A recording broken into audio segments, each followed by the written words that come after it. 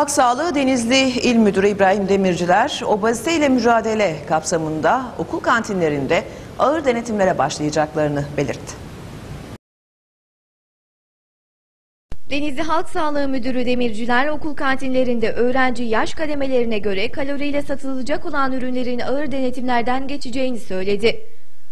Kantinlerde satılacak olan ürünler hakkındaki yönetmeliğin değiştiğini açıklayan Demirciler, değişen yönetmeliğe göre birinci kademe öğrenciler için 150, ikinci kademe öğrenciler için 250 kaloriyi geçmeyen ürünlerin satılacağını belirtti.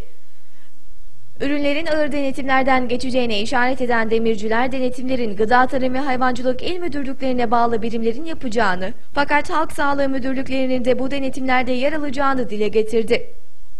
Halk Sağlığı Denizli İl Müdürü İbrahim Demirciler toplumda yeterli ve dengeli beslenme alışkanlıkları kazandırmak, Türkiye'de giderek artmakta olan aşırı ve hızlı şişmanlığın yani obezitenin artışını durdurmak amacıyla oluşturulan Türkiye Sağlıklı Beslenme ve Hareketli Hayat Programı'nın Başbakanlık genelgesiyle yürütüldüğünü söyledi.